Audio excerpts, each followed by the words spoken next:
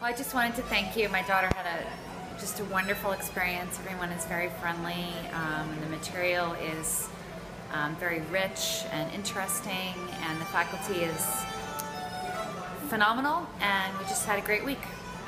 Thank you. Uh, and I, I really enjoyed uh, Joe Smart's teaching uh, about Texas weaving, and I love uh, the other classes also, the economy, this stuff. And it's really uh, grateful to me because uh, I can spread uh, those American feeling in my country, Sri Lanka. And Marco O'Connor. He's one of my childhood hero, and yeah, I really enjoyed this.